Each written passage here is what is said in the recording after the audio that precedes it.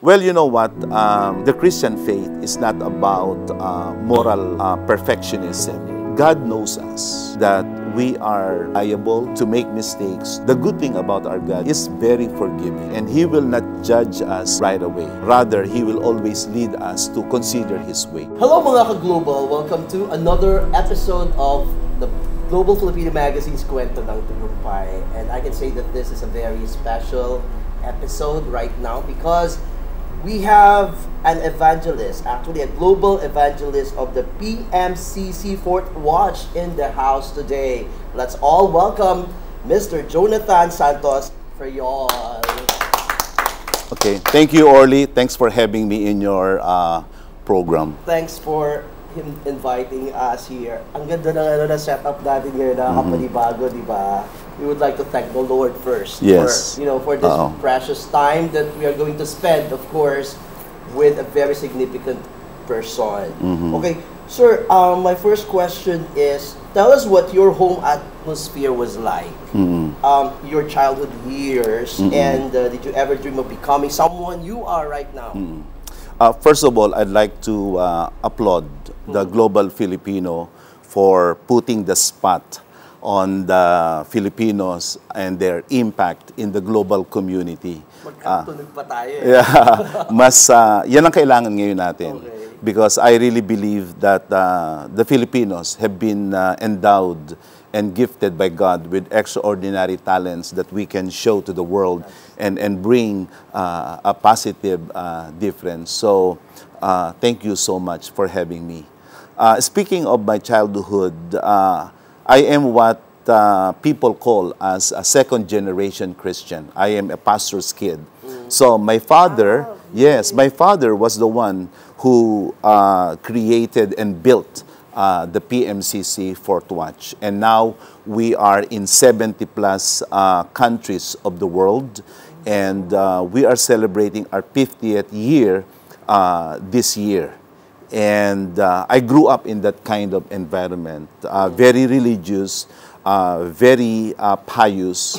but I also had my uh, time of uh, questioning. And I had that season that I was beginning to really seeking answers to my questions. And um, somehow, you know, I did not veer too much uh, far from the path of my uh, parents. So uh, I, I right away identified with, with their calling. So h- after na high school, I really wanted to be a journalist. And uh, but after high school, I felt that the ministry call was um, more powerful and more irresistible. So when was the exact time that you um, that you feel that you have this calling? Uh, believe it or not, when I was 10 years old, I was 10 years old when I felt, you know, I, the Lord was calling me to do what I'm doing right now. Okay. You grew up with a uh, a very religious family, and uh, ano ibig sabihin nun? Um, disiplinado ka talaga.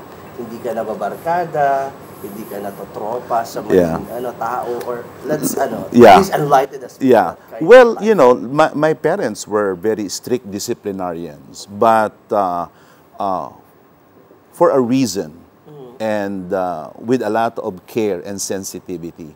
Even though they were disciplinarians, but they raised me and uh, my siblings in love, in care, and a lot of grace. And uh, actually, ngayon, I credit only my father for who I am today.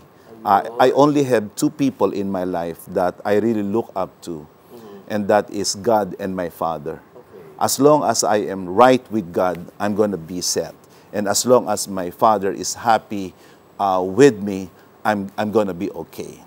Why do ah. you think your father chose you? But ik- ikaw lang hmm. ba yung ano? No, we're actually six in the, the family. Eh, bakit ikaw sa palagay mo? I was the first one who entered uh, the ministry. And then, siguro, you know, Nakita yung ano mo, attributes mo of being I guess so. I guess so. But uh, I also have my other siblings who are in the ministry. Pretty much almost all of us are in the ministry. Uh, three, uh, four of my uh, siblings are in the ministry, and one is also a congresswoman, and uh, she represents a party list in the Philippines. So she's a pastor and a lawmaker. But do you finish with which course? Uh, Uh, I took up journalism in uh, college, and I was almost uh, there, uh, finishing and graduating from journalism. But I felt that the ministry was so compelling at that at that time na hindi na ako makahintay. okay. And so I asked my dad the blessing and uh, you know the approval for me to enter the ministry, and he gave it to me. And I think that was a, a right call. Ano yung mga advice sa'yo ng dad mo when you are going to this kind of path? Well, you know, um, he had given me all kinds of advices uh, from being a man to being a father to being a pastor. Uh, but uh, one of the greatest uh, advices and counsel of my father is to always be on the side of righteousness. And that he meant by that as being on the side of God. Di bali na ang ibang tao ay Ito mahirap, sir. it is hard, especially. Well, you know what? Um, the Christian faith is not about uh, moral uh, perfectionism. Um, God knows us, and He understands who we are. That we are liable, and we have that proclivity, as they say, to make mistakes, to make uh, errors. But the good thing about our God is He's very forgiving. He's long suffering, and He will not judge us right away. Rather, He will always lead us to consider His ways.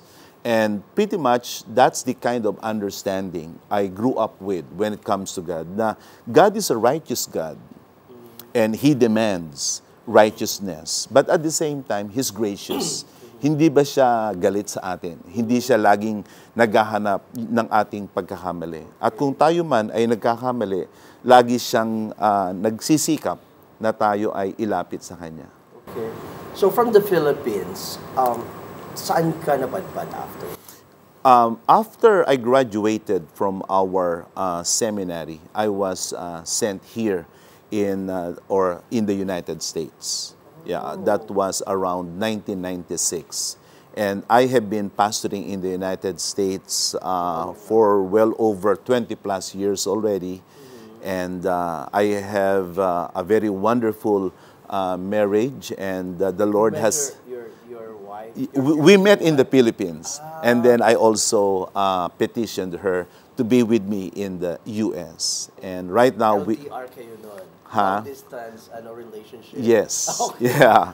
So and then we have uh, two wonderful uh, girls, and one is also considering to enter uh, the full-time pastoral ministry, just like me, just like her parents, and just like So her grandparents. the, ano. Yes. What, what do you think you observed pagdating sa from your father to you and now you to your, ano, your Well, child? you know, we we share a lot of uh, commonalities, Okay. but the strongest uh, common denominator uh, amongst all three of us is our love for God and love for people.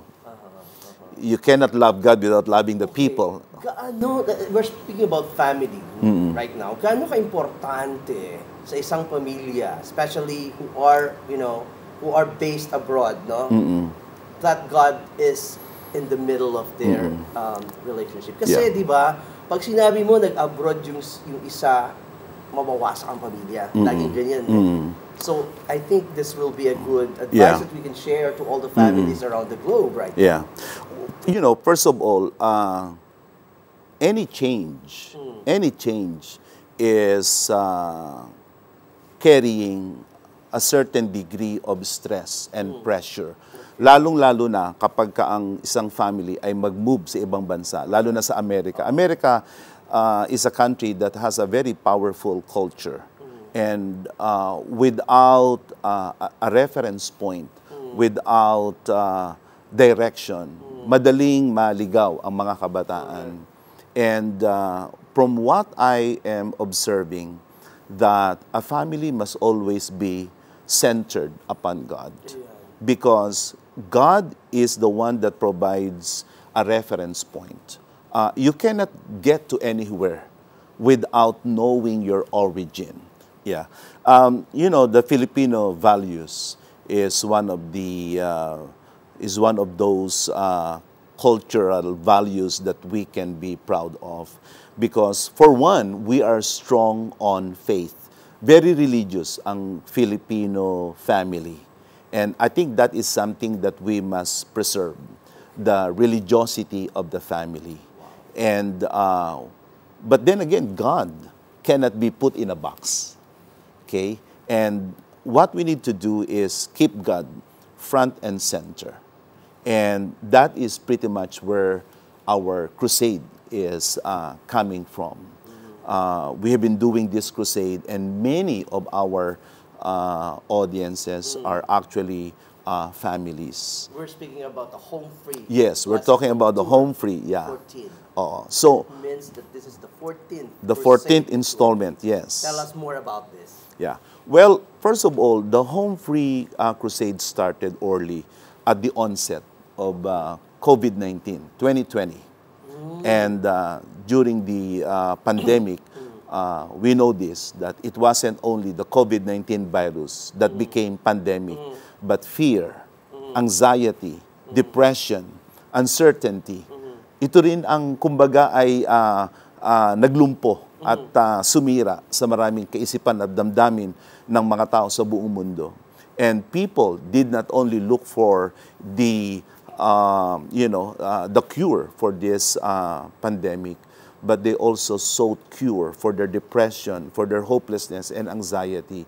And I believe that our only hope is in Christ Jesus, knowing Him for who He is. Kaya for the past two years, we have been expounding, we have been stressing that there is hope. And this hope is not man-made only. This hope is God-made. At yun ang aming ini-stress sa mga tao, na you do not need to succumb, you do not need to surrender to fear, anxiety, depression, and all of these um, mind-debilitating sicknesses. You can be strong, you can be happy, you can be uh, meaningful, and, and all of those things can be found in Christ Jesus. Um, the world, the entire world experienced the pandemic. 2020 when you started, 2020 when it came. So, how did you get that strength in creating this kind of thinking while others are in a negative situation?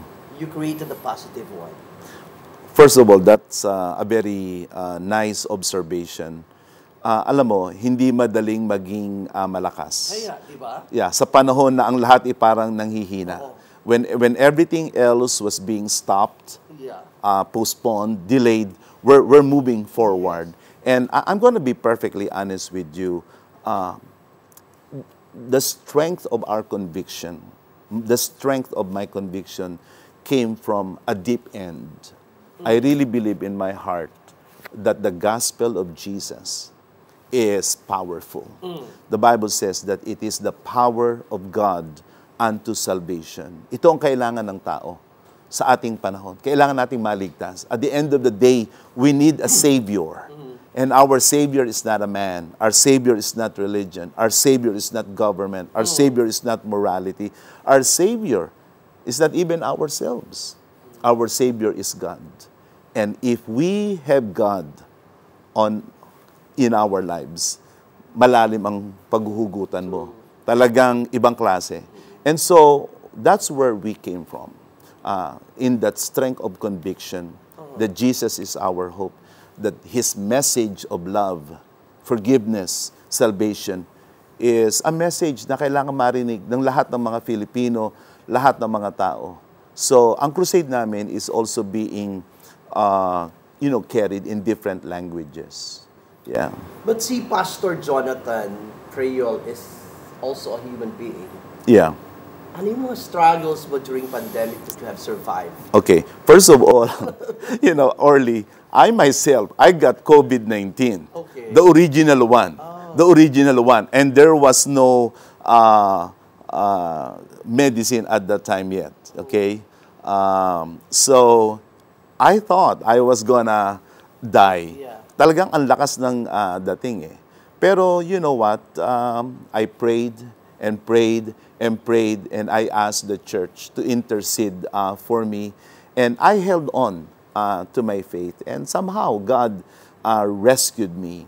And um, uh, our struggles were not only physical, you know, our struggles were also supernatural. Uh, kasi mahirap magsalita na walang tao, nakikita mo lang camera. Kasi bawal noon ang in-person eh. So there was a time that I literally put uh, this uh, standee of people, uh, pictures, I, I put their pictures on the chairs so that I can preach with a sense of connection. So I'm not only speaking to a camera. Because uh, I, I really believe that uh, this message should reach the very heart. Yung doon sa kaibuturan ng puso ng tao. That it should not only be processed uh, in the head. It must not only be felt emotionally. It must be, it must reach the, the spirit of the man. And once it reaches the spirit of the man, then that's where change will uh, begin. Na yung hopeless, magiging hopeful. Yung fearful, magiging brave. Yung negative, magiging positive. Yung depressed and anxious, magiging masaya. And this is what I have been seeing for the past two years. So many testimonies of lives being changed. So let's just talk about this coming up show Yeah. that you are going to have, the Home 14 Free Blessed Hope Tour, and then we can invite Yeah. them to Okay. there. Okay. You know, I really believe that um, itong part of uh, the world, the Middle East, especially here in uh, Dubai, this is an ultra-modern society. Okay. But I see that there are two sides to this city. One that is advanced and sophisticated and modern. And then there's another side of Dubai wherein it's broken. Maraming mga Filipino nasasadla sa iba't ibang mga pagsubok, mga kahirapan. Yung mahiwalay ka lang sa pamilya mo, that's gonna drive you crazy. Kung hindi ka sanay. And then, uh, you know, let's just be frank na there are a hosts of other challenges like, uh, you know, injustice, exploitation, and abuse. Uh, we're not lacking about these things. And uh, whether people are, you know, are what it comes to the universal cry ngayon is mahirap man o mayaman, ang hinahanap ay pag-asa. Ang hinahanap ay katatagan. Kasi ngayon, lahat pa nababago. Hindi, hindi, hindi pwedeng sabihin ng isang tao na may pera siya at siya set na. Because, yeah, um, one day, you could lose everything. And, and so, uh, this is where we're coming from. We're, we're bringing that blessing. It's it is not falsehood for you. It's blessed because it's from God.